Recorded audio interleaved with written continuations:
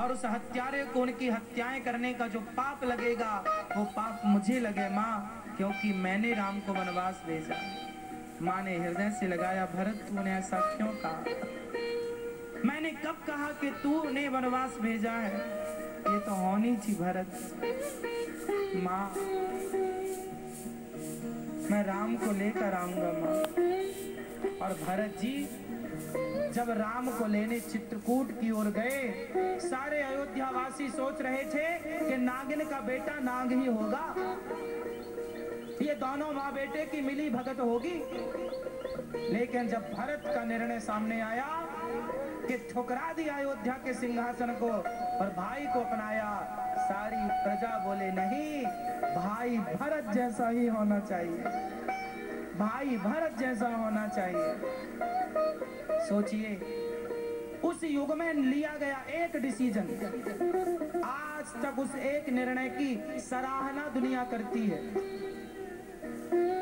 याद रखिएगा कि हमारे और आपके द्वारा लिया गया कोई भी डिसीज़न अच्छा या बुरा, वो डिसीज़न बहुत समय तक लोग याद करते हैं कि उन्होंने ये निर्णय लिया था, ये किया था, ये सही या ये गलत। इसलिए कोई भी निर्णय लिया करो, सोच समझ कर निर्णय लिया करो। आपका एक निर्णय आपके पूरे परिवार को बना सकता है और आपका एक गलत निर्णय पूरे परिवार को मिटा सकता है।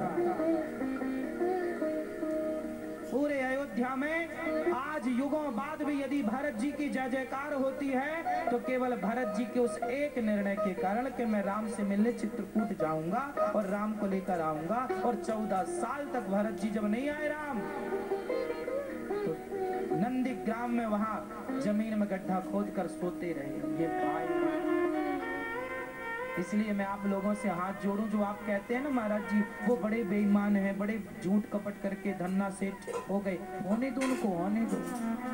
उनकी धन्ना सेठी ज़्यादा दिन की नहीं हुई तुम्हारी ईमानदारी ज़्यादा दिन चलेगी। बेईमानी की धन्ना सेठी ज़्यादा चलती है, या ईमानदारी ईमानदारी की नमक रोटी अच्छी है साहब? आओ। क्यों तुम अच्छा चलो तुम धन्ना सेठ हो गए, तुम्हें रसगुल्ला पच रहा है क्या? रबड़ी पच रही है क्या? तुम्हारे पास रबड़ी की व्यवस्था खूब है, पर डॉक्टर ने मना कर रखा मत खाना। फिर वो गरीब आदमी है, नमक रोटी खाने वाला। उसे कोई मना नहीं किया, खूब रबड़ी खा सकता है विडम्बना तो यही है, जिसके पास खाने को है, उसको डॉक्टर नहीं खाने देते। जिसके पास खाने को नहीं, उसे गरीबी नहीं खाने देती। ईश्वर का निर्णय है, विधान है। क्यों नहीं समझते आप नारद जी ने भक्ति ज्ञान वैराग्य को भागवत सुनवाई सनकादियों के द्वारा